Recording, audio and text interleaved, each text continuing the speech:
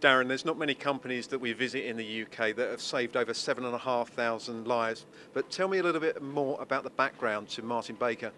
Well, uh, as a company, we started off building aircraft back in the 30s. Um, as a result of one of the test pilots um, having a fatal accident, we then moved on to building ejection seats, and from the early 40s, we've been developing ejection seats all the way through up until today. Um, to date, as you mentioned, we've saved 7,500 lives.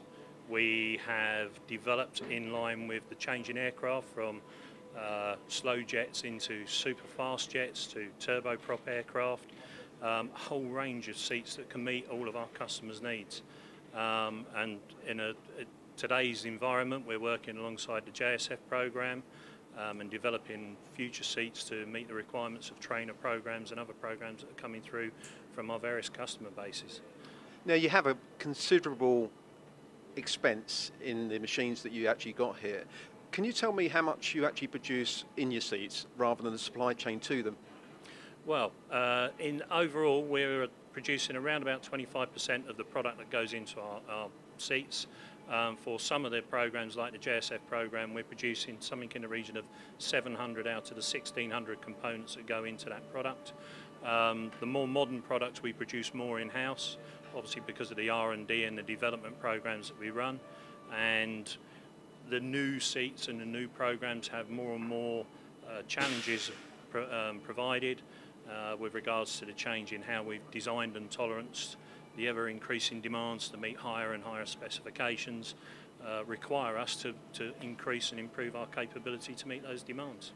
Now, when you look at the types of products that you're actually manufacturing and the, the complex components, today we're here on behalf of Mitutoyo and you spend a lot of money with these guys, but why Mitutoyo?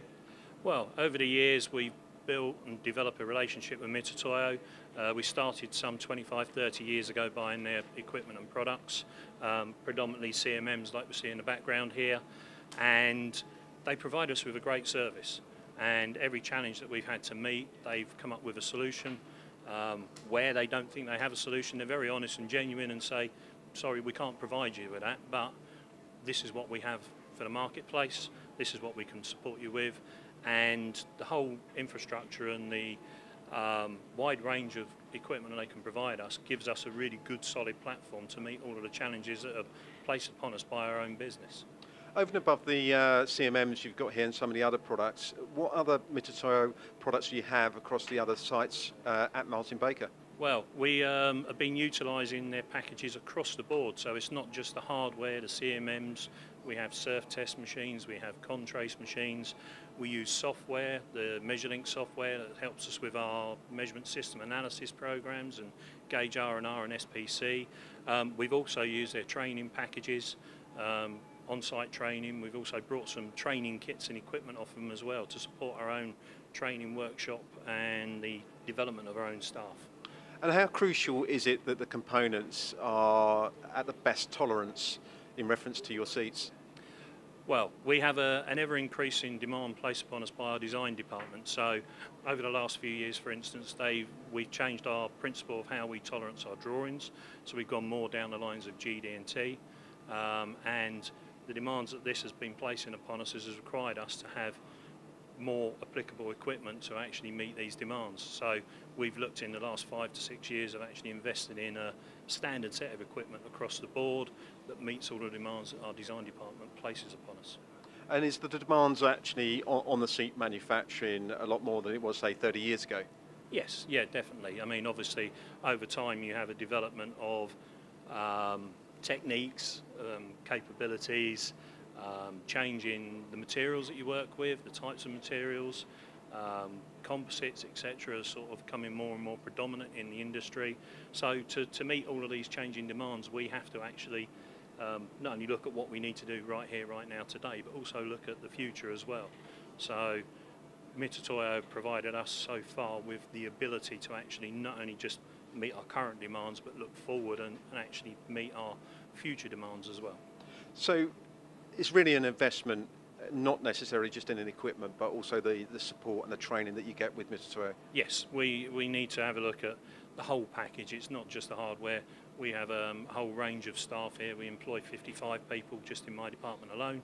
And it's one thing to go and buy the equipment, it's another thing to actually support that equipment with the right people that have the skill sets to be able to use that equipment to its fullest. So, in conjunction with Mitutoyo, we've been using their training team and their training packages. Um, we've been qualifying our staff uh, to a city and guilds level, and that also ena- enables us to meet our own company's design requirements and, and production requirements in the future. So, saying that you've got apprentices in the company effectively, that's the way that you're growing your business. We are. We currently have in the region of three or four apprentices, but also we have seven or eight trainees as well. Um, and these trainees have been brought in with the right attitude, the right basic fundamental skills and capabilities, and we are developing them in conjunction with our partners, Mitsui for instance, um, to be the best that they can be and support the business for the future. And what is the future for Martin Baker? Big and bright, hopefully. Um, we are looking at new programs, we're looking at existing programs, we're looking at development to meet all of our customers' needs. Um, and basically provide the very best piece of equipment that we can to support the all of the fly, flying staff that are out there supporting uh, various nations. Well, it's, it's a fantastic, iconic British company. Great success. Thanks very much for your time, Darren. Thank you very much, Mark. Much appreciated.